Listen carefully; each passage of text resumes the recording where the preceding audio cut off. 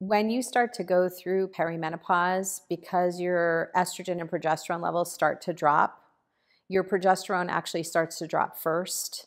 And progesterone's role is to stabilize the lining in the uterus and control the letdown of bleeding.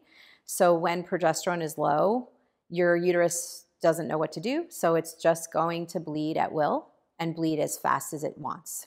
So a lot of women will start to get disrupted bleeding as they enter perimenopause. Either their cycle frequencies will get longer or shorter apart from one period to the next, or the amount of bleeding will change where you actually start to get a lot more bleeding or prolonged bleeding. You spot a lot before, you spot a lot after, or you spot when you're ovulating in the mid cycle.